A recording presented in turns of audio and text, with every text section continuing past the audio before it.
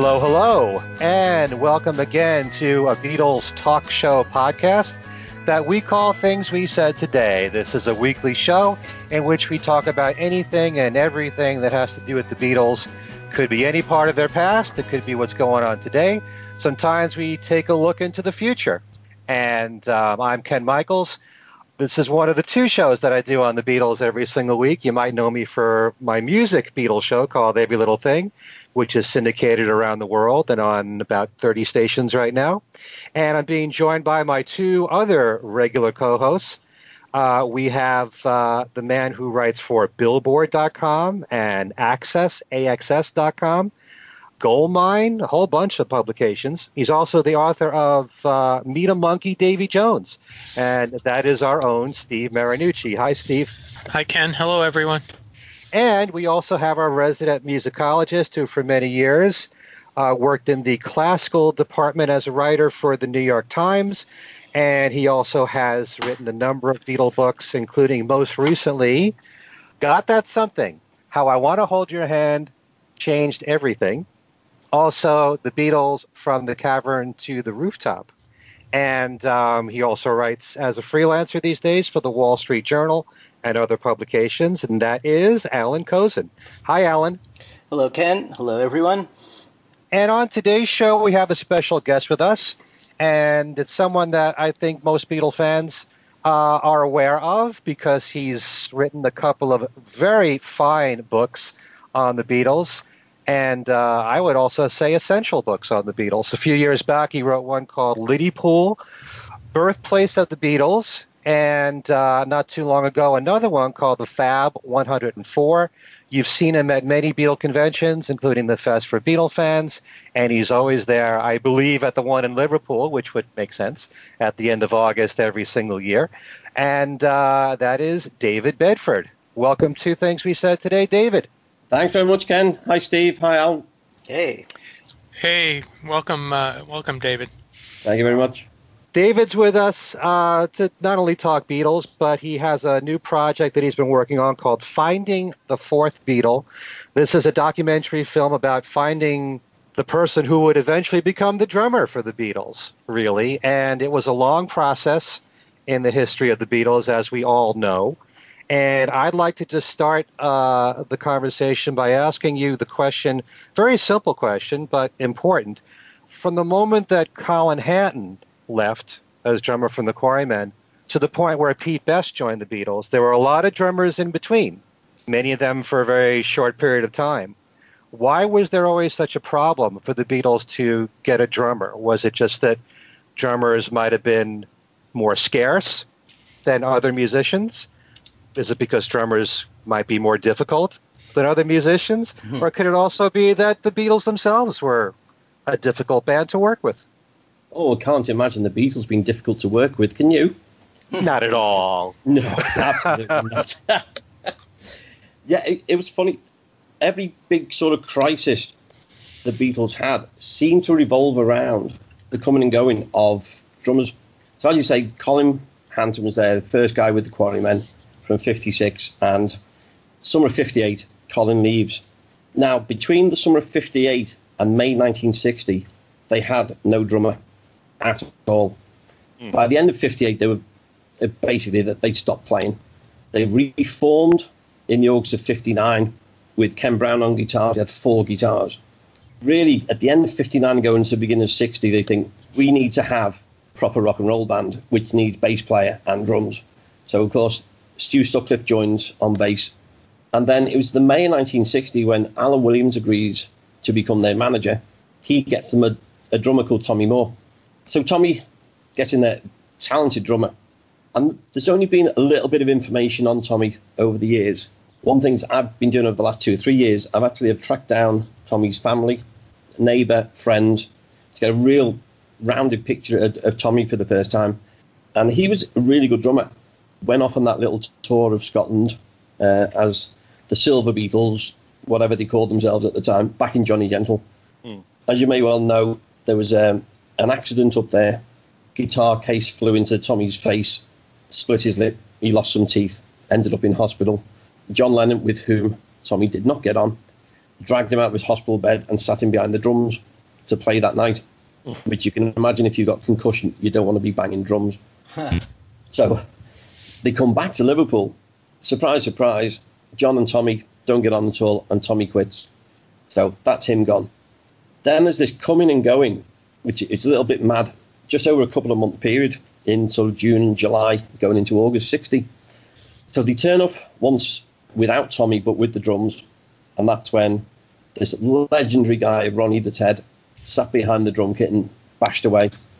What I have found out at the same time, another guy got up. He was only 16 at the time. He sat behind the drum kit for one song, realised he was rubbish, got off, and took himself off the stage. Um, the teaser, he later went on to record with Apple. Who was it? Oh, yeah, yeah. yeah, I'm not going to tell you that one. That's one of the teasers. That's one of the surprise guys. Ah, I see. Okay. Oh, yeah, that, that's, you know what I'm like. Mhm. You know that from the best. So he, he's one of the little surprises in there. Of course, Paul sits in um, for a couple of times, especially back in Janice the Stripper for that week. Then they get this other guy, Norman Chapman. Now, Norman, again, it's when I was doing the Fab 104 book, um, I found Norman's daughter and got the first photos and biography of, of Norman Chapman.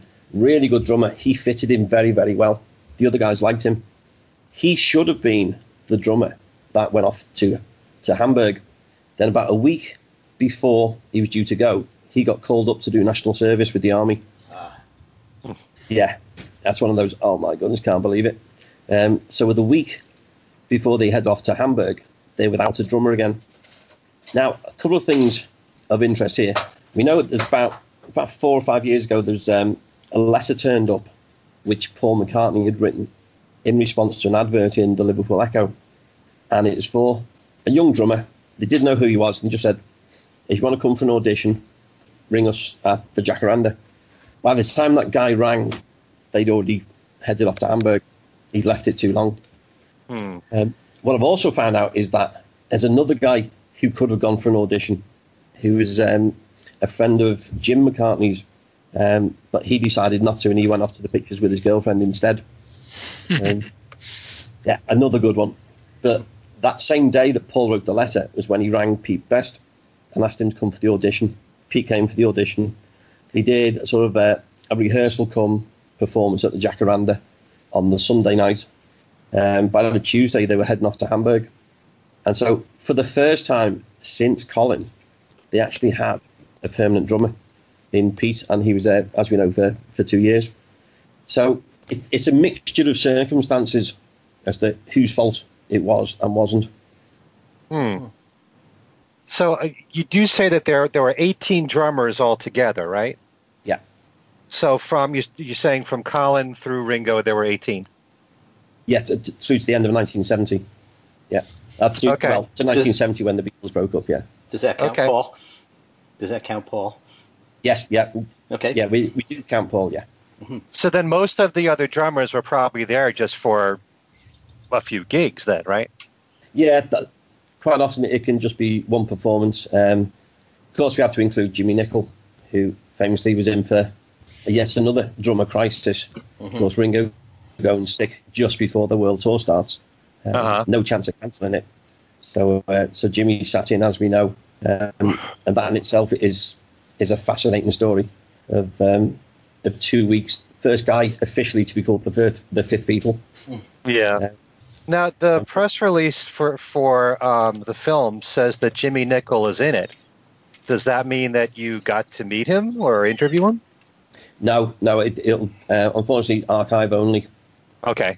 No, we, we have been we have been trying to track him down, um, but of course the, the whole project is um, the book will come out first.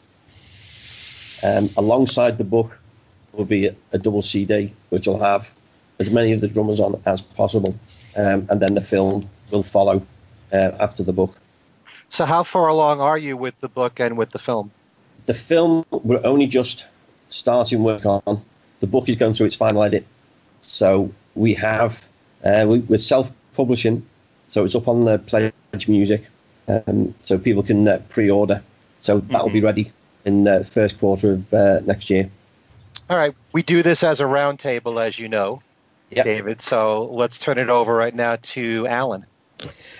Okay. Um, you know, the one obviously the, the the two drummers really that people most think about are are Pete and Ringo, and um, I think in Liverpool, from what we hear, there there's a lot of I guess feeling of protectiveness about Pete. And um, I was just wondering. I mean, you know, Ringo was from Liverpool too, obviously, but um, I was wondering, like, how that feeling sort of emerged. I mean, a lot of a lot of uh, other Liverpool musicians from the time have turned up in documentaries saying, you know, how good Pete was when the official story, really, and, and, and to some degree backed up by the relatively few recordings we have, which is the Decca audition and the Sheridan things. Um, it was basically that Pete wasn't as, nearly as inventive a drummer as Ringo. So I was wondering what you how you how you stood on all of that, and also like w- where the feeling in Liverpool comes from of uh, the protectiveness towards Pete. Yeah, um, yeah, good question. The protectiveness I, I deal with first is there was a massive shock in Liverpool when they found out that, that the Beatles wanted rid of Pete.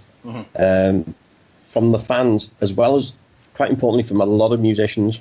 And over the years of being in Liverpool, obviously I've got to talk to so many different Merseybeat musicians.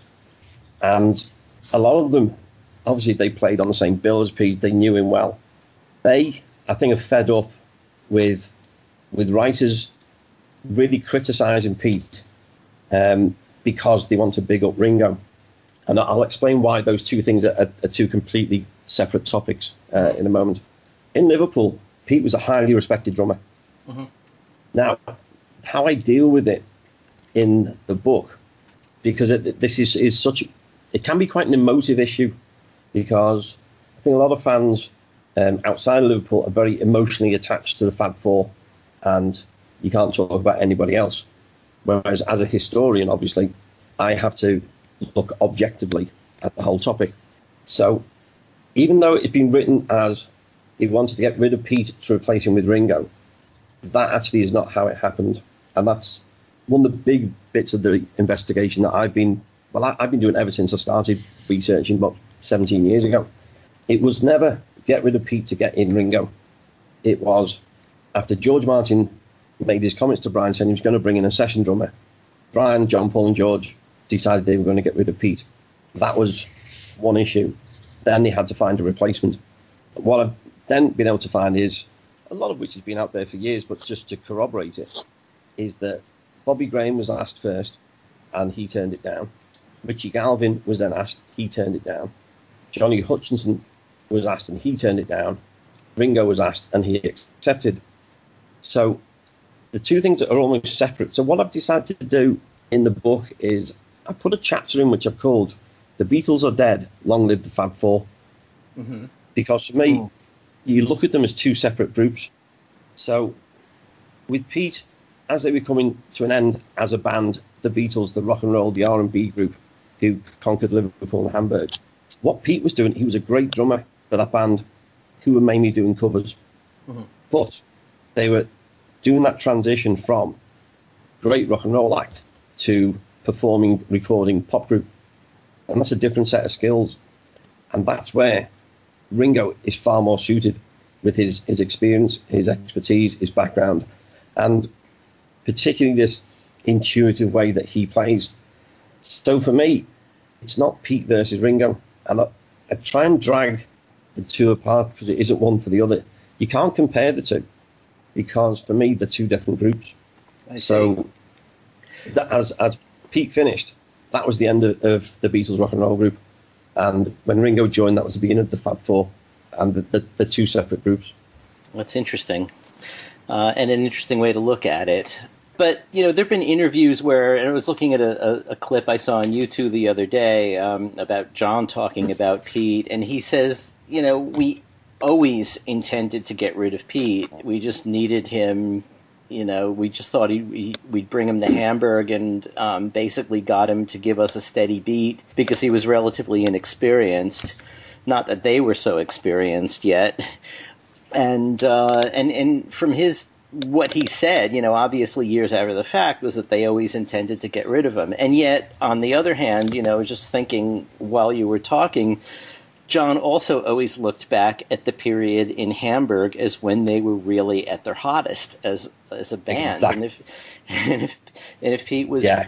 so how do you how do you reconcile those things and what do you do when you see comments like that from John or you know Paul's story which I'm sure you've heard a couple of times about how the first time they played with Ringo they looked at each other and said whoa this is it so how Yeah. do you how do you um like how do you work with you know the, those things given the other information you have what I, I try to do is I look for balance, I look for perspective and context. Mm-hmm. If a comment and an interview was given at the time, so if, if John was saying this in the summer of 1962, it would have a lot of validity. As a lot of his comments were given in the 70s, and it depended what mood he was in. I mean, he, he changed his story on a number of things. right And so I, I look for a balance and not just one perspective. So I then find a quote that Tony Barrow, um, who again, great guy, very close to the Beatles, and John said to Tony, Pete was a great drummer, but Ringo was a great Beatle. Hmm. So there's a balance. We've got Paul, who actually, when you look at the comments he's made, is probably the most honest because he says the problem with Pete was he wasn't quite like us, and maybe wasn't the greatest in our eyes. That was a little bit, but in George Martin's eyes, he wasn't good enough, and therefore we thought, well, what are we going to do? We've got to make a decision, Mm. and our career was on the line. So, and, and Paul, and as again in uh, in Wingspan, in the documentary, he said, you know, Pete was a great drummer, but he just wasn't quite like us. Um, then you've got with George, his famous quote of Ringo was always going to be in the film. He just hadn't arrived at that time or whatever it was. It's okay. But then you, we have a letter which George wrote back to his friend Arthur Kelly from about November 1960, and he says, "Pete Best is with the group, Mrs. Best Boy, and he's drumming good."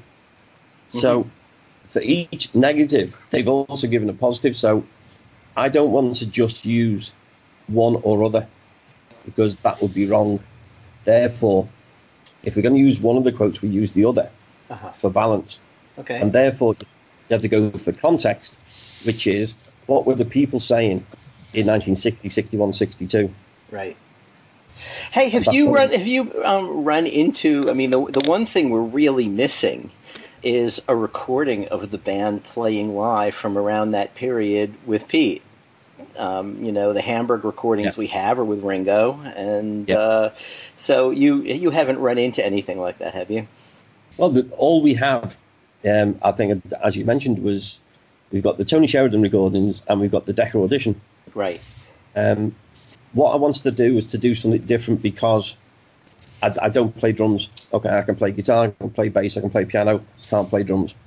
I've been in groups with different kinds of drummers, good and bad. So as a musician, you'll know if you're in the group and the drummer is no good, you find out very, very quickly. Oh yeah. It does not take you two years to work out your drummer's no good. Mhm. So, but I thought, well, it, we're just going to end up with authors saying, well, Pete was good, Pete was crap, and stuff. So I thought, no. So that, decided to do something different for this book, and that is we brought in, I think it's about, I think it's eight or nine different drummers, and so I sat three down of different eras. So I've got one guy who played in uh, a group in the '60s, uh, one guy who's right around 50, and uh, another lad who's 19. All drummers, none of whom had heard the Sheridan recordings or the Decca audition. Mhm. And I sat them down, and then separately I sat down with a local um, record producer called Steve Levine, who's worked with some huge names like the Beach Boys and people like that. Mhm. And again, I said, analyze this from your point of view. So first of all, I got the drummers and said, give me your feedback, like on the Decca audition, for example. And they all came up with slightly different stuff, but on the whole, Pete came out of it well, which which surprised me because I've always read that one of the things really bad about the audition was, was Pete's drumming. But they actually they said no, the, the recording quality is poor, but that's down to Decca. So, but actually, his drumming comes out of it okay. Mm-hmm. Particularly when you think of how the others came out of it. I mean, Paul's singing was shocking. George's guitar work was a bit all over the place. John was sort of here, hit and miss. But these four young guys thrust into a huge studio for the very first time. Mhm. So they were nervous. So you take all that into account. But Pete comes out of it well, which sort of surprised me. Interesting. Um, yeah, and again with, with the Sheridan stuff now, again there's so many myths and legends and, and stories gone around about, um, like with did Bert Kaempfert take away Pete's bass drum because it, it, he couldn't keep time and he was awful. Now, some of that came from Tony Sheridan, who, alongside the Beatles, is one of the most unreliable eyewitnesses in Beatle history. um, Hmm. But if you look at it and you think, okay, you got some of the, the myths and the stories. First of all, Bert Kaempfert was the king of Schlager music, which was light entertainment. He James Last, these big orchestra where a drummer was there for a, a bit of percussion, not for rock and roll. Uh-huh. So they were recording on a on a stage in the school. And you think, well, there's no way he's going to want a, a bass drum, particularly Pete Best's atom beat bass drum. So you can understand him saying, I don't want that snare, cymbals and stuff. That'll do me. So whatever myths and legends are around what happened in the recording, we have the recording to listen to. Now, if you're a drummer and all you have is your snare and or your hi hat and a cymbal, you listen to the drumming on My Bonnie. That is phenomenal. It's absolutely brilliant. Uh, But again, I'm not saying because this is me, author. This is what the other drummers were saying, and it is a brilliant piece of drumming. Okay. So I didn't want it to be me versus whichever author I'm up against. I want the feedback from drummers. So that's what we've done all the way through. Not just for people, you know, for Ringo as well. Mm-hmm. Because again, with not being a drummer, I've never listened to the Beatles songs for the drums. Right. But for doing this book, I've gone back and I've listened to the whole of the Beatles catalogue and listened to the drumming. And suddenly you think, wow, I hadn't noticed what Ringo was doing. Right. Then when I start talking to drummers, they say, "Oh yeah," it's, and suddenly it opens up a completely different world, and you think Ringo was the right guy for doing what they did for recording. Then he, it- all right, you've got the style thing where he's a left-hander playing on the right-handed kit, Right. and I've had that explained to me, and that so that gives you a different feel for playing the kit for a start. Mhm. But the comment kept coming up, which was, Ringo knows how to play the song. Right. So I, I kept throwing it back to people saying, what does that mean? Uh-huh. And eventually I got an understanding of, and it's almost that Ringo would play how he was feeling on that take of that song on that day. Mhm. So you could do 20 takes and they would be different.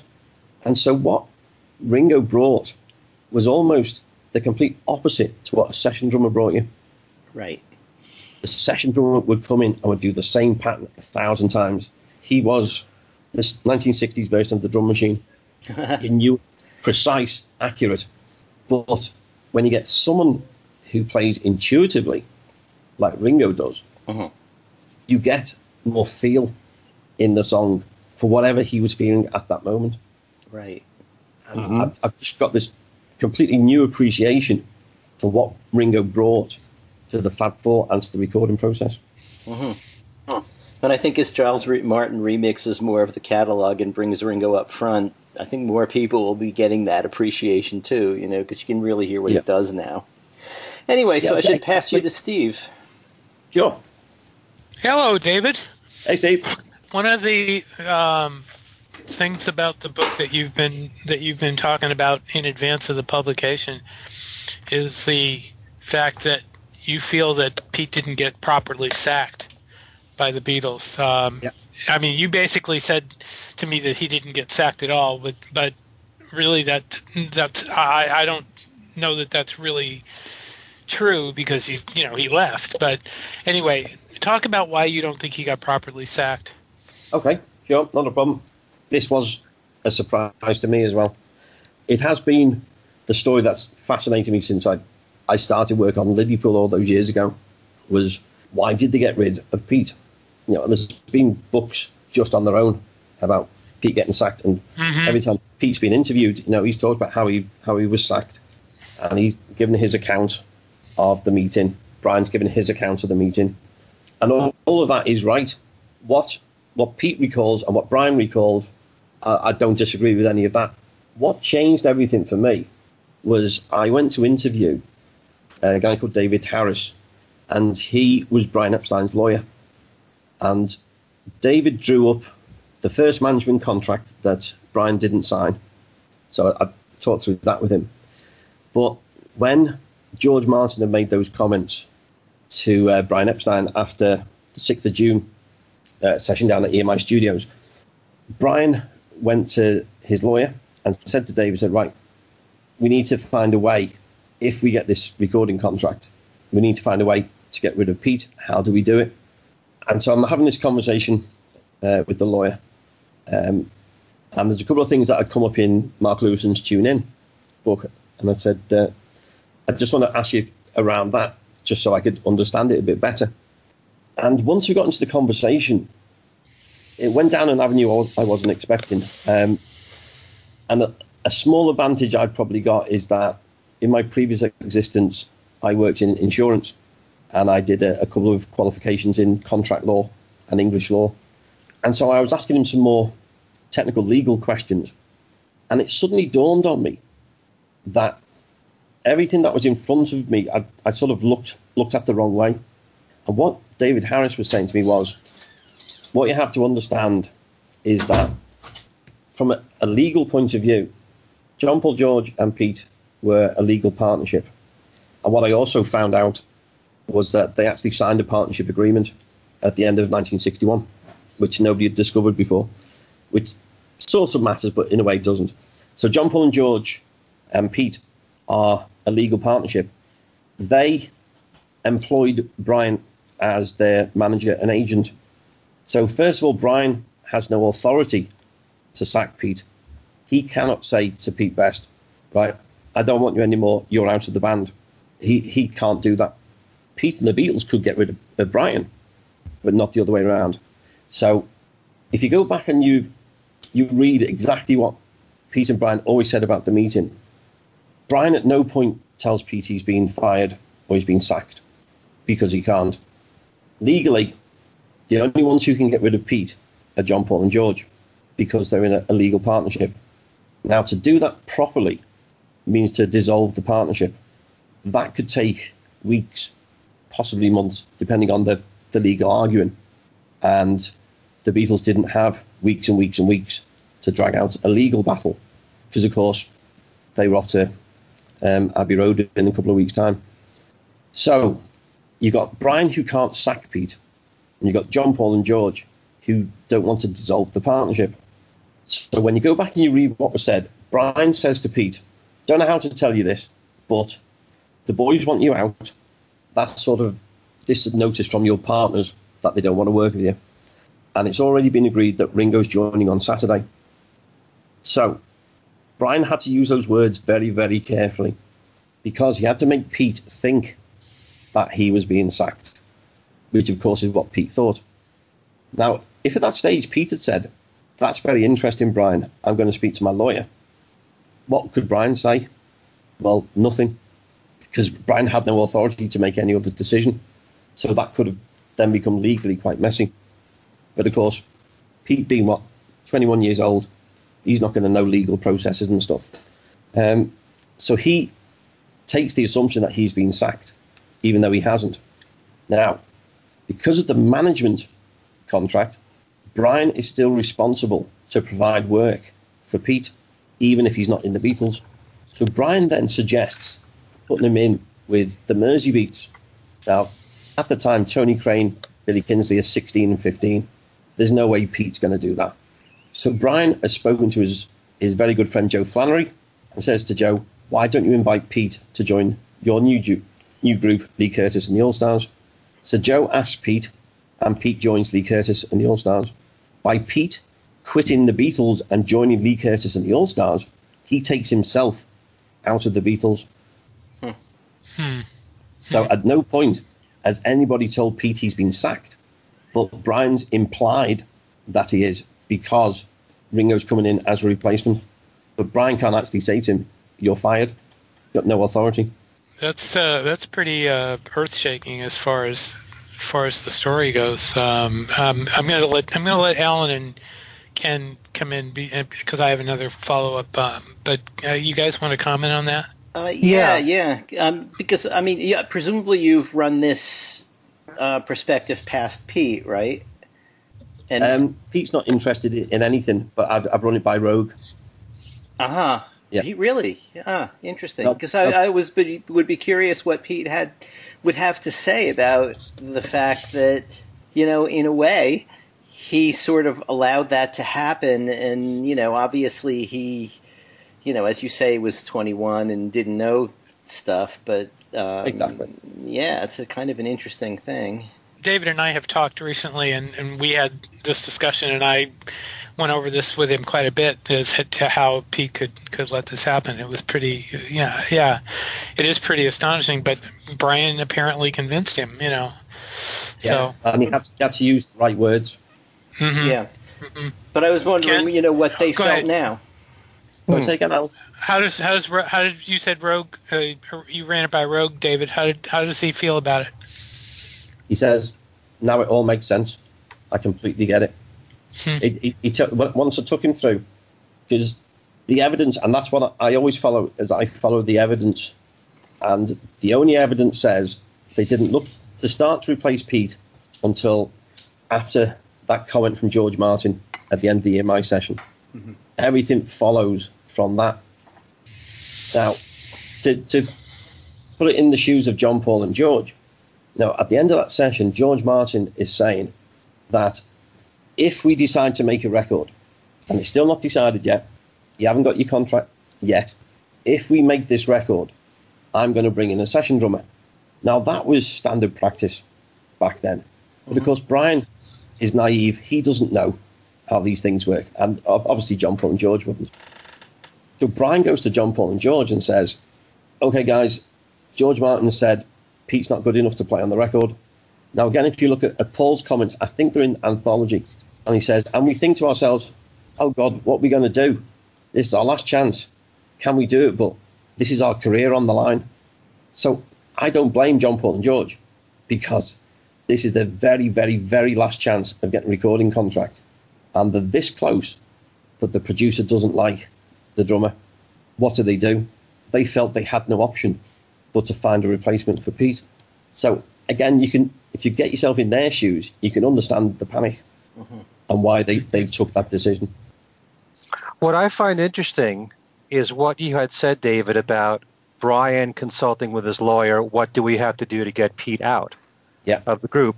So, in order for him to say that, that must mean that John Paul and George wanted Pete out.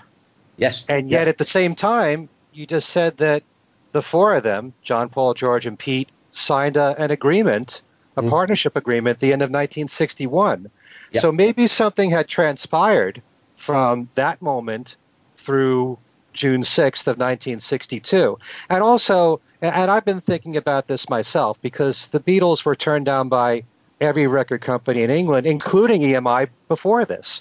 That's so right. this was this was their last chance. Absolutely. So they're going to do whatever the record producer wants them to do. But at the same time, my question is that I had heard that it wasn't just George Martin, but Ron Richards the engineer, yeah. who didn't think much of Pete Best as a drummer either. But they never said to the Beatles, you have to get rid of Pete Best, period. He could have been with them for live performances, and they could have had a, you know, a session player on their studio recordings. That's so the mere fact, so that what they did, at least this is how I interpret this, is that they used this as their excuse to get rid of Pete. Okay, two things. Yeah, Ron Richards. Yeah, he he was he oversaw the session, and he has said he asked Pete to do some stuff which he couldn't. But then he also said, if I'd have asked Ringo to do the same thing, he couldn't have done it either. Um, but Ron Richards' opinion mattered. He discussed it with George Martin. George Martin told Brian, and you're getting Chinese whispers by the time it gets to John Paul and George. Um, studio practice, as you know, was session musicians. You look at someone like Bobby Graham, for example, who played on something like 15,000 songs, about 50 of them were number one hits you know, session drummers in particular were, were commonplace. Mm-hmm. So we know that the discussion when Brian speaks to his lawyer takes place about 10 days after they come back from the June 6th audition. That discussion hasn't happened at any other time, and I, this isn't coincidence. And it crops up again in one of the conversations when Peter said what happened in the meeting, and he said, "Why? Why are they doing this?" Brian says to him, "Well, George Martin doesn't think you're a good enough drummer." So the evidence is all saying everything links to what George Martin said. Now, on your, your other point, which was they use this as the excuse to get rid of Pete, what, what's your evidence for that? That they wanted Pete out. By the mere fact that you just mentioned that Brian said to his lawyer, What do I have to do to get Pete out of the group? Yeah, because they decided after the June 6th audition, if George Martin didn't think Pete was good enough. Oh, okay, that was after June 6th. Yeah, yeah. So Okay. well, they, they had that discussion after June 6th.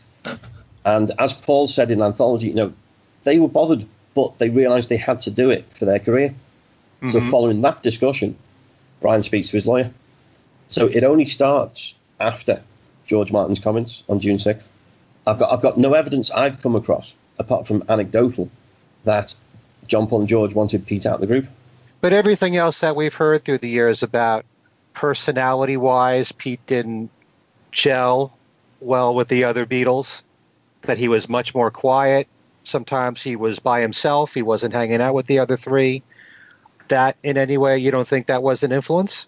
the way I see it is there's a primary reason and there are secondary reasons. The primary reason is, as we've just been saying, what George Martin said. Now, going on what Paul had said, you know, they sit there and they discuss and think, can we do this? Should we do this? You know, it's a hell of a position to be in. Okay, if we do this, is it for the right reasons? What's the advantages, pros and cons? That is when I think there is a second discussion which follows on, which is, well, for Brian, that gets Mona Best off your back, doesn't it? Um, and, uh, do you know, he he doesn't always hang out with us. Um, and the secondary reasons then come in. And again, you talk to anybody who's ever been in a band how important personality is and gelling together. And if band members don't get on, it doesn't make for a good a good group at all. Um, so I can see secondary things, but again, were these things said in 1961 and 62 or afterwards? Because, you know, if we are honest, one of Brian's greatest skills was his PR of the Beatles, in that they were only ever John Paul, George, and Ringo. He was their manager. Nothing else came before. It was protect the Fab Four. So I think there was a lot of that, and there's been so many interviews and reasons given post 62, which are to denigrate Stuart Sutcliffe and to denigrate Pete Best for the good of the Fab Four. Now, I'm not disagreeing with their decision because I can see why they decided to do that. Because as we were just saying, this was their last chance, and and also I think in any band's evolution, when you look at, you know, the Quarrymen were doing okay, but they couldn't go any further. Then they get Paul in and they start doing better. Then they need a lead guitarist to get George in. Every time you want to make a step up, sometimes you need to replace a band member. And I think to make that leap from where they were as a, a covers band, a rock and roll R&B band, to recording stars, they needed someone with the techniques that Ringo brought into it. But of course, from everything we've seen, do we know that's how they thought at the time? They didn't know what recording was all about. But Ringo proved to be the right one. And no matter what, it's very complex, this whole Mhm. part of the Beatles story. Because, um, you know, what about all that you hear about how Ringo was so comfortable when he fit in with the Beatles even before he was hired to replace Pete Best? And, uh, you know, that George Harrison in particular lobbied for Ringo to be in the band. He, re- he really wanted Ringo in there. So I think it was, you know, a combination of a lot of factors. But would you say, and this is a very tough question here, David, if Mhm. George Martin didn't say this at the June 6th session about Pete Best, would he have stayed? Yeah, You think he would? yeah, yeah, I do. Be- because I, I can't see why they would have got rid of him because all the stuff for saying that Ringo was always going to be in the band, that it was get rid of Pete, bring in Ringo. I want the evidence, and I don't see the evidence. I see post 62 anecdotal evidence, but I, I don't see firm evidence because a lot of the time Ringo wasn't around, don't forget. Because Rory, some of the Hurricanes were off playing at their summer camps, they were doing different tours and stuff. They weren't in Liverpool a hell of a lot. So they would hang out sometimes, but all the bands were hanging out together. So they'd become they'd become friends out in Hamburg in 1960. But I don't see much evidence that there was any great close friendship. George had started becoming friendlier with Ringo in of the springtime of 62 when Ringo had come back from being with Sheridan Band in Hamburg and before rejoining Rory Storm the Hurricanes. So they'd started becoming friendly, but I haven't seen much evidence, and that, that's what I really want is I want evidence of saying this is what happened. Now, the only evidence we do have, and I think it's, it's important evidence, is that between December 61 and when Ringo joined, there were, I think, three occasions when Ringo sat in in Pete's absence. Now, I think that definitely helped them because they played with him, even though they played with other drummers. They they played now in that six month period on um, three different dates. One of them he, he played two two gigs with them. So I think they got to play with him and they liked the way he, that he played. Mm-hmm. But why then, when the contract comes through from George Martin at the end of July, the first thing that Brian does is approaches Bobby Graham. And you can sort of understand why they went for Bobby Graham, bearing in mind George Martin's comments. Because Bobby Graham was, first of all, he was a session drummer, who used to play in the studio, but also was on tour with Joe Brown, the brothers. They'd had the number one hit. He was on a UK tour. Surely he would fit the bill for what George Martin would want. Then, of course, Bobby Graham turns him down. Then they approach Richie Galvin, uh, Earl Preston, and the TTs. Richie turns him down. And then they approached Johnny Hutch. Johnny Hutch turns him down.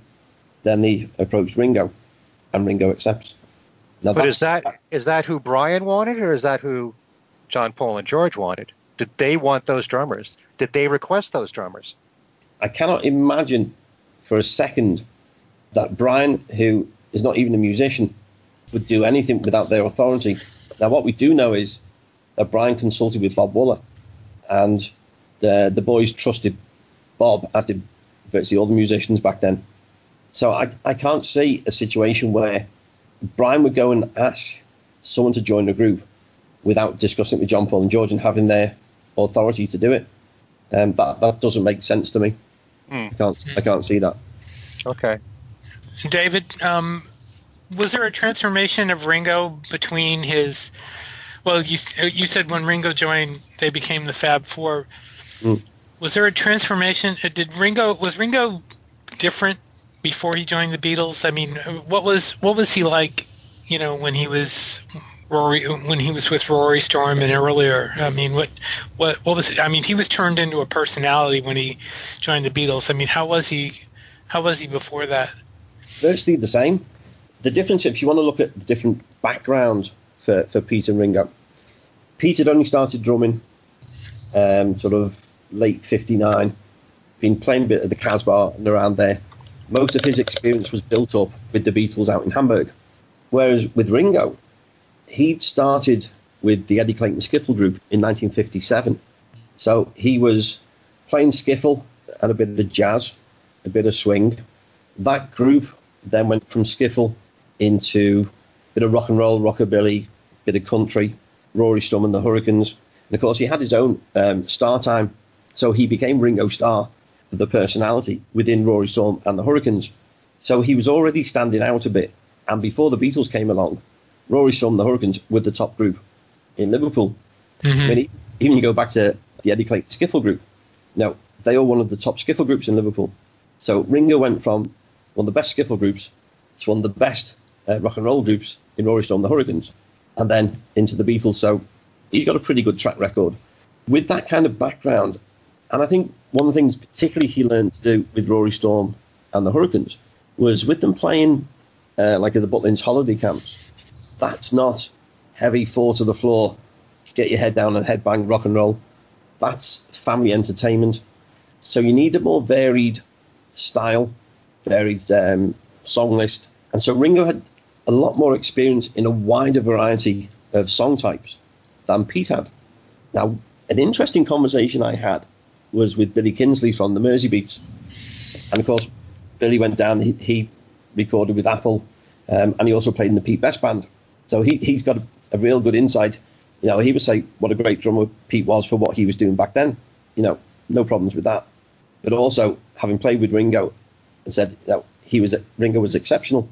And he said one of the things he noticed, what was happening to the Beatles in 1962, which is sort of going back to that the Beatles are dead long the Fab Four thing. There was a change in the musical progression and possibly a bit of a power swap from John to Paul. They were starting to introduce more of the ballads, more sort of show songs, the lighter side of the music, and do less of the, the heavier thumping rock and roll. Mhm. So the group in itself was evolving. And part of that, of course, was down to Brian. Because Brian wanted to get them out of the suits, uh, sorry, out of the leathers into the suits, out of the rock and roll clubs into the theatres, which didn't always work, but it was part of their progression. And this was part of the, in a way, the genius of Brian to look at them as a musical act, to know that if they didn't make these changes, they would never get out of Liverpool. And so you've got this whole transition going on in 1962. In some ways, I I call it rocked in, popped out. And it starts at this, this rock and roll group at the beginning of 62. By the end of 62, they're a pop group and they're playing different songs, different kind of music. And that was this whole transition in 62, which was a fascinating thing. And I think that's where they got as far as they could as John Paul, George, and Pete to make that step up. They needed someone with a wider skill set, and that's what Ringo brought. He had that variety, and again, going back to that intuitive play, playing the song, he knew how to sit behind a song and do something simple yet creative. And it's, it's funny, with all the drummers I've spoken to, the number of times they've said they hate people saying the phrase, well, Ringo, he wasn't technical, but. And he said, why do people need to say that? You could say, you could say that, well, John Paul and George didn't read musical, so technically they weren't very good, but why But, say but, that? but to be fair, Ringo himself has said that I'm not a technical drummer. So Yeah, but, but again, it hmm. depends what you, you define as technical. Because if you know, I was, I was looking back at the um, that short film they made for the Rock and Roll Hall of Fame with all those different drummers. Mhm. talking yeah. about- Mm. And if you think of stellar names who were there, all who were influenced by what Ringo did, sure. that's what I was desperately trying to find out. Why does everybody say that? Is it just because he was a Beatle and it's cool to say it? Or what did they mean? And that's what I've been getting to, and that's what I feel I've got a much greater understanding now mm-hmm. of Ringo's contribution to, to what the Fab Four did. Mm-hmm. Mm-hmm. Two two of the people that are involved in the book are Alex Cain and Terry McCusker, who put out a book called Ringo Starr and the Beatles Beat. Yep. That's available in hardback on Amazon, um, but I got the, the a two part ebook uh, through iTunes. I don't know if it's still available, but I've, I'm sitting here looking at the uh, index, and they go through. They analyze heavily his. I mean, it's a deep analysis of Ringo's drumming, and it has charts and everything. Just talk about them for a second, because uh, you were you were telling me that uh, that uh, I believe Terry Terry saw the Beatles at the Cavern, or they both did. Yeah, Terry did. Yeah, it's a fascinating book because what they've done is, because they're both drummers, they've analysed every song the Beatles recorded and they've looked at what Ringo was doing.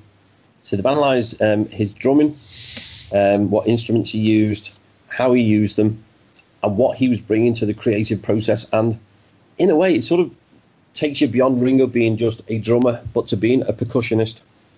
Because you start seeing some of these weird instruments I've never heard of um, that he that, that he was using and being so creative. And he suddenly realized in a song he could be using, you know, two or three different time signatures.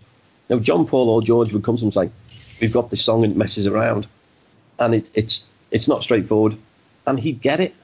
And so it was interesting talking with with Terry McCusker because um, Terry did he saw uh, the Beatles with Pete and was sort of inspired to become a drummer, but then he saw the Beatles with Ringo, and he saw the difference, and he could then explain. Again, going back to almost what I, I was saying before, that for what the Beatles were doing with Pete at the time, Pete was a really good drummer, fantastic driving beat, you know. And when you you combine that with Paul's thumping bass with these huge bass speakers that they had, you know, the sound was incredible. But that could only get you so far, and that's why Alex and Terry did this book because they thought, well, nobody's given enough attention to what Ringo did, and they've tried to highlight what Ringo contributed to the creative process of these songs. And that's what made me go back and, and re listen to all these Beatles songs and just listen for Ringo's drumming. Because some of it, some of the obvious ones, you know, like Strawberry Fields Forever, something like that, the drumming's quite obvious. Other things are a lot more subtle. And so they've helped a great deal in helping a non drummer understand what Ringo was doing. It's very important to have a book like that out because I think there are a lot of music fans who are so impressed more by Flash Yeah. and by musicians that, that do a lot of solos and Mhm. extended Oh. solos. And Ringo knew just how to, you know, accent the song and play interesting fills that made it all musical. And I got to tell you one thing on this subject. I have a son who plays a lot of instruments, and he's a great drummer. He really is. And there are times when he plays Ringo's part. And Yeah. this is completely by himself without a band. And you know what the song is just by the Yeah. drum part. Yeah. And that tells you something how distinctive the playing is right there. If you can identify a song just from the drumming on a song. You know, it makes you realize how how ingrained it must be in your brain without you realizing it. Exactly. And on that, that very subject, what I, I wanted to do then was, as well as talking to people like Alex and Terry, I've interviewed a couple of drummers who have been in Beatles tribute bands. Said, okay, what's it like as a drummer trying to learn Ringo's part? And one of the, the funniest stories seems to be a repeating one is you listen to the song and you listen for the drumming, and then, as you say, Ringo's the what's it, um, the king of feel. I think it's one of those uh, late Abe Laboriel, I think, said, and he plays this little fill. He said, so, and you learn it. Then you think, I've got it, got it sorted, and you play the song. Three quarters of the way through the song, where you think the same fill will appear, is something completely different. Because mm-hmm. by then, Ringo thought something better would fit in, so he plays something different. So not only from take to take could the drumming be different, but he wouldn't even do necessarily the same fill in the same song. So it's really hard then for drummers to try and learn Ringo's part and said even if technically you can reproduce it, there's something about how Ringo plays that you can't reproduce the feel. Hmm. And I think what, one of the techniques he'd learned is he plays com- often coming out of the, the beat, not going into the beat. Now, it's hmm. something that can happen in a split second, but it can really alter the sound that you can get. And so you start listening then for the drums as an instrument as much as changing the sound from playing a, a Fender Telecaster to a, Gibson Les Paul will give you a different sound. Mm. It's what Ringo was doing with his drums, and because you know he only had a very basic kit, and he, he never liked anything more than that. But he then developed ways of using tea towels and blankets and to muffle the sound, and just change the tuning to give him a completely different sound with the same kit. Right. So he, he was do, doing so many things like that, whereas you know, most of the drummers at the time, they get the kit ready and they just play it. Yeah, it's very hard to duplicate what Ringo did on the drums Yeah. because Yeah. even if it's slightly off, if you've Mhm. got good ears, you'll notice the difference. Yes. A- And you notice that in so many Beatles tribute bands that are out there. I just want to ask you a question that really, this has nothing to do with Ringo, but it's because of the fact that you were born in Liverpool, you still live there. Yeah. Can you just very briefly say, has Liverpool changed all that much, aside from the fact that it's become a big city because of the Beatles and all the money that they brought in? But the suburbs and the towns that the Beatles lived in, in particular Woolton, Allerton, Speke, the Dingle, which is where you were born, right? I'm a dingle boy, yeah. Yeah. Are, are they pretty much the same as they were when the Beatles were living, in, you know, as kids in the 40s and, and, and the 50s, or has it changed a lot? The Dingles changed from when Ringo was growing up there. Bits of Wavertree have changed where George was born and spent his first few years. That's mainly down to the housing because back then the houses uh, George and Ringo were born into had no toilets or bathrooms in the house. Pretty basic necessity. So most of those were modernised late 60s going into, into the 70s. So that changed. The other thing that has changed since I grew up around there was the community has been torn apart because they moved everybody out of all the streets around Madryn Street where, where Ringo was born. And they moved them out over 10 years ago. And only now are they renovating the houses. So that wonderful community that was there when Ringo was there, was there when I was growing up there. All that has, has changed. So that, that that's sad from a Dingle point of view, and I, you mm. can't get that back. is it, is it still a poor area? Yeah, yeah, yeah, it's still a poor area. Mm. Um, so socially, uh, economically, it's it's not changed much. Wavertree, where where George was born, again the same.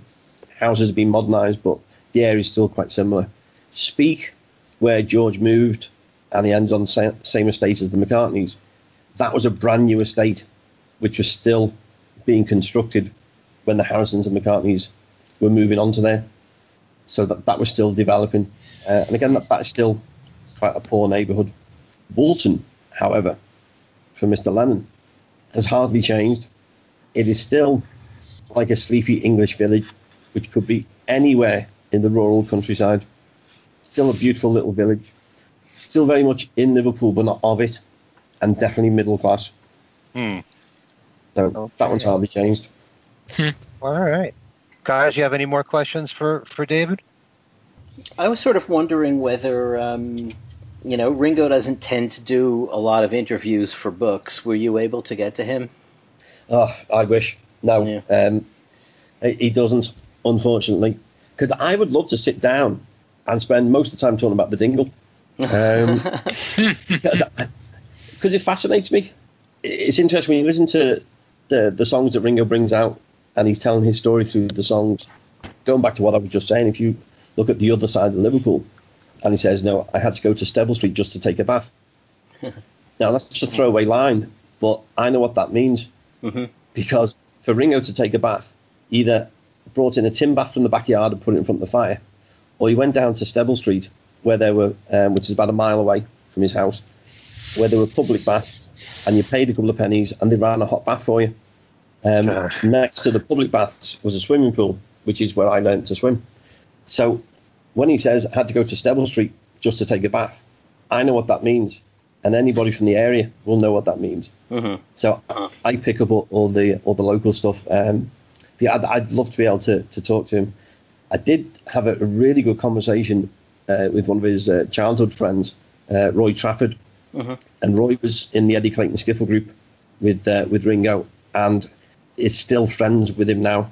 They still keep in contact, and it, it was fascinating getting his input and his viewpoint on growing up with young Richie and what he was like. So that that was about as close as I've been able to get. But yeah, obviously I'd, I would love to sit down with Ringo and and talk the Dingle, talk Liverpool, talk drumming, mm-hmm. um, and then talk Beatles. And that's one of the key things he wanted to do with this book, because the book ultimately is about Ringo. It's finding the fourth Beatle.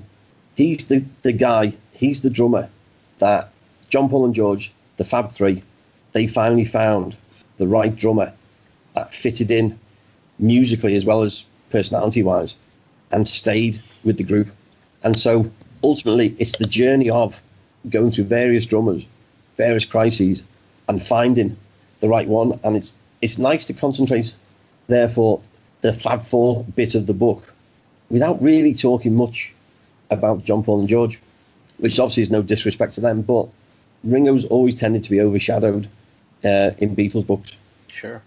And so we wanted to do something which wasn't overly technical, so it would lose people, but we wanted to bring those important elements of what made Ringo such a great drummer and why it worked. And you know, even if he wasn't the first drummer to be asked, it's like with most of Beatle history, When something's meant to be, it happens.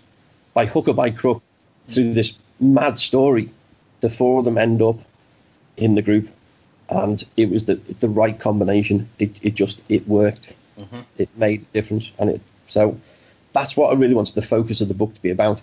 Now, obviously, a lot of the revelation is, you know, as we discussed, is about the getting rid of Pete and all that, the legal stuff with that. But I, I haven't wanted to lose the focus that in the end, this is the journey of John Paul and George finding Ringo. And as we've said a number of times here, he was the final piece of the puzzle. Exactly. Yeah. Do you feel that generally speaking, he's beginning to get more respect now? Um, you know, partly through the remasters, partly through you know the the fact that um, I guess well, your book will obviously have something to do with it, and uh, the way Mark Lewisohn told the story in Tune In, it, it was kind of clear that he was the most accomplished musician of the four at the time. I, you know, I, if you think back, I mean, for instance, on Saturday Night Live, there was a, a skit once with um, it, it was really about Albert Goldman, and it shows the Beatles in Hamburg, and Goldman coming along and uh, joins them as a trombonist. And but but Ringo, the Jon Lovitz plays Ringo, and his one line that he keeps repeating is, you know, I'm just happy to be here, you know. And and then when Ringo was a was the host on Saturday Night Live, they had an auction where you know they were auctioning Ringo off among a bunch of other Beatles memorabilia, and all of the questions were like, well. Did John Paul and George touch that toothbrush that you have? You know, Yeah. kind of thing. But you know, it- and and he's always had this sort of like jokey lack of respect, and I, I kind of think mm. that's beginning to change. And I was wondering if your perspective is the same. Absolutely, and it's something I noticed coincidentally around the time when I'm starting to look seriously of putting this project together, which was about four years ago. Just suddenly noticed in the music magazines and before the Rock and Roll Hall of Fame thing happened, suddenly other drummers were coming out and saying how important Ringo was to them becoming a drummer and how he influenced them. And then suddenly, the, the, these last few years, he's finally getting credibility. And in a way, it's almost as if if you're within the industry, Ringo's always had that. But for some reason, nobody's come out and said it. Um, and maybe they've got to that stage where he's been skitted and treated as a joke so many times. You know, how many people say, well, you know, he's the luckiest guy on the planet. Right. And some people in Liverpool will, will still say that. You know, he jumped on the bandwagon. It could have been anybody. He was just the lucky one. Again, you don't last for that long in a top group if you can't make it. Right. And I think finally, Ringo's getting some credibility. Um, and that really, what we want to establish with this book is don't write Pete off because of what he did, because what he did was great. But ultimately, what we're looking at is the recording career of the Beatles. Ringo was the right guy, he fitted in, and he created and contributed so much to that process that he should be given credit alongside John Paul and George. Uh-huh. It shouldn't just be, you know, the, what's the, the old musicians joke? What do you call the guy who hangs around with musicians? The drummer. Wow. And it's almost been a bit like that, that he's the jokey guy, he's the clown at the back, and nobody's taking him seriously because he was always the guy at the back. And Ringo's been happy with that. He's never wants to push himself forward and say, look at me. Maybe to his detriment. But you look at how many musicians, and particularly these top drummers, who come out and say, he's the guy we wanted to be. He's the reason I'm a drummer. We want to play like him. Finally, he's getting some credibility, and I hope that's what this book will do.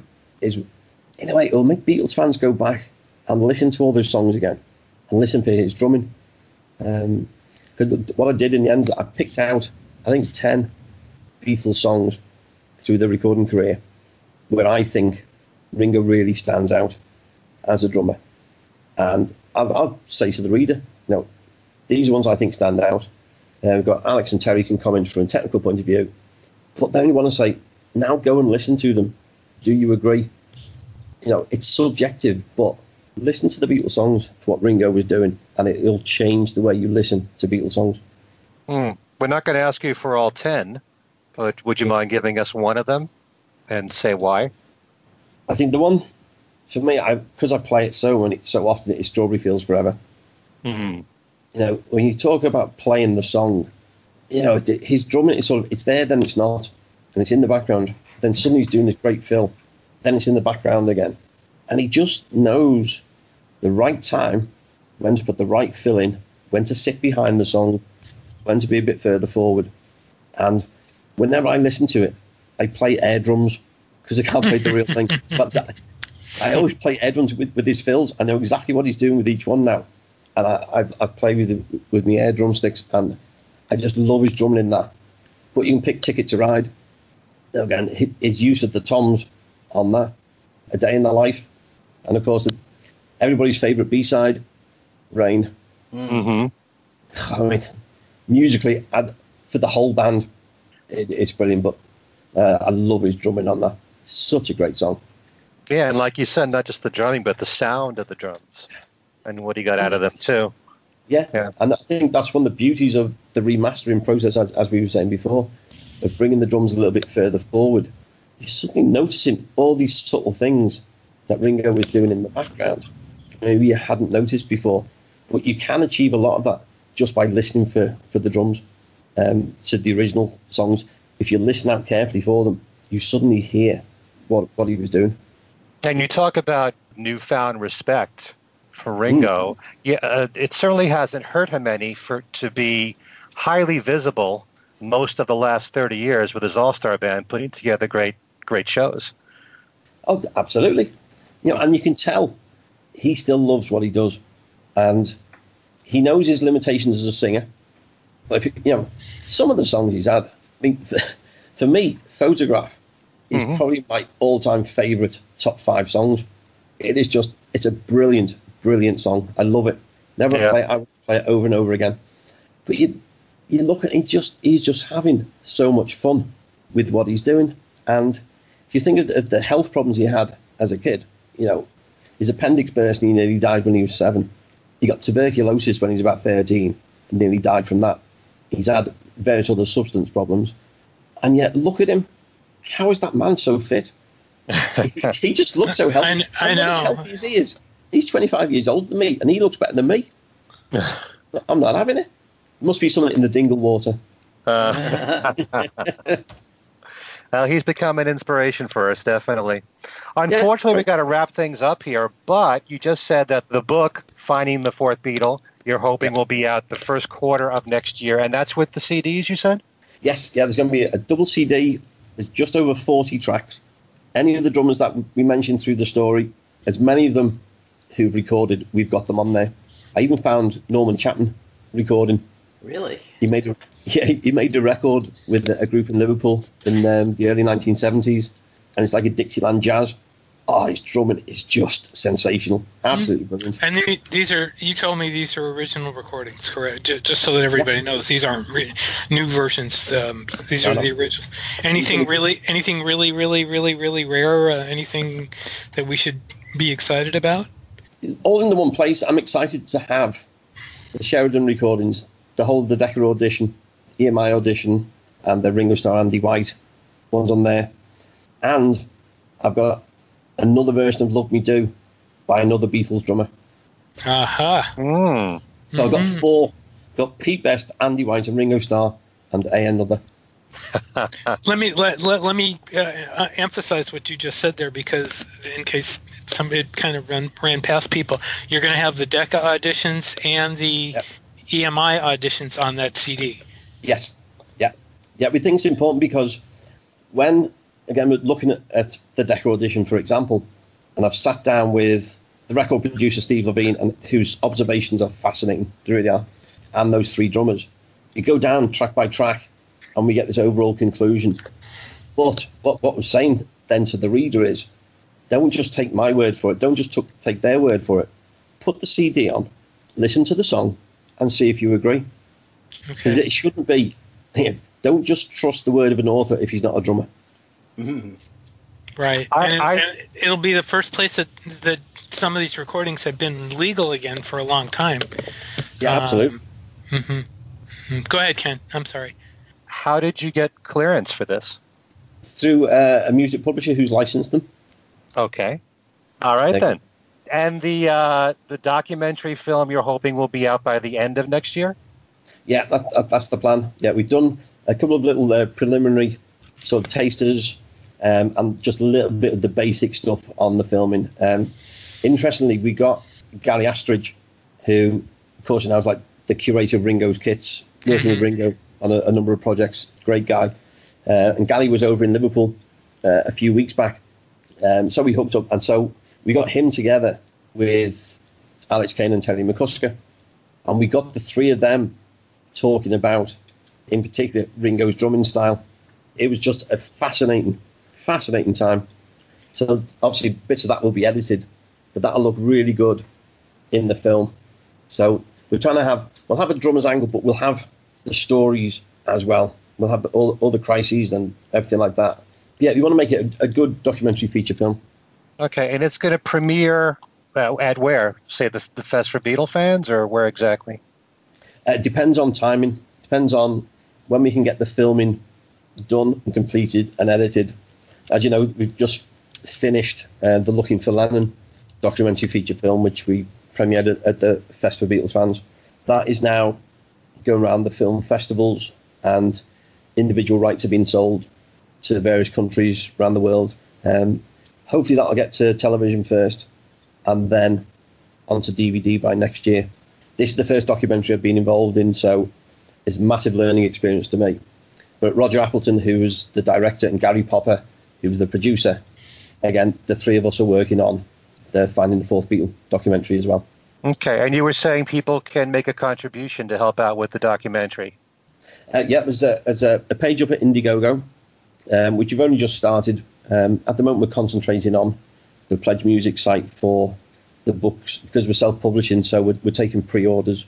At the moment, we're going to do a thousand limited edition hardcovers, um, obviously signed by us. And Paul Skellett is the designer for that, who's done some fantastic books with Archivum, um, Eight Arms to Hold You, books like that. Fantastic designer. Um, so he's he's working on that at the moment. And then obviously once we've done the limited edition, there'll be uh, the, the cheaper version, which will come out at sometime next year as well, probably. Okay, well, unfortunately, we've got to wrap things up here. Dave, if, if fans want to get in touch with you, is there a way they can do so? Yeah, if you want to find out more, particularly about the Find the Fourth Beatle project, you just go to thefourthbeatle.com, and that's fourth spelt, uh, not the number. So thefourthbeatle.com. And you can email through there, and I, I pick up the emails through there anyway. Um, or you can go to my own website, which is uh, davidabedford.com. All righty. Allan, if people want to get in touch with you, how can they do so? Probably the easiest way is on Facebook at either Allan Kozinn or Allan Kozinn Remixed. Okay, and Steve, how about you? And and for the show itself too. You can get a hold of me at BeatlesExaminer at gmail.com. I have a Facebook page, uh, a personal Facebook page, and a Beatles news group called Beatles News and Information. Um, the show is, uh, you can email us at Things We Said Today uh, radio show at gmail.com. We definitely want to hear all your comments and questions and good things and bad things. We want to hear them all. Um, rate us on iTunes, please. Um, and um, we're also on Facebook, uh, Things We Said Today uh, Beatles Radio Show. There's a second Facebook page uh, just said, just called Things We Said Today for the Fab Four radio broadcast.